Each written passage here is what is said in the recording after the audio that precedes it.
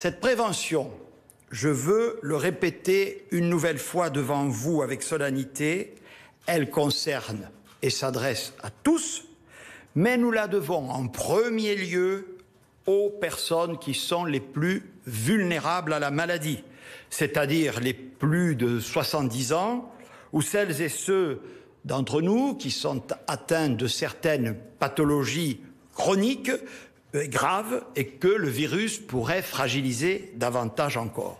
Ce sont ces personnes qu'il faut protéger au maximum, car ce sont elles qui, nous le savons, développent les formes les plus graves de la maladie et parfois les formes les plus mortelles. Nous avons fait en la matière de grands progrès, nous leur avons passé des messages constants qu'elles ont captés. Mais il faut que toutes les autres générations soient extrêmement responsables et protectrices à leur endroit. Puisque nous parlons de la rentrée scolaire, par exemple, évitons que papy et mamie aillent chercher les enfants à l'école.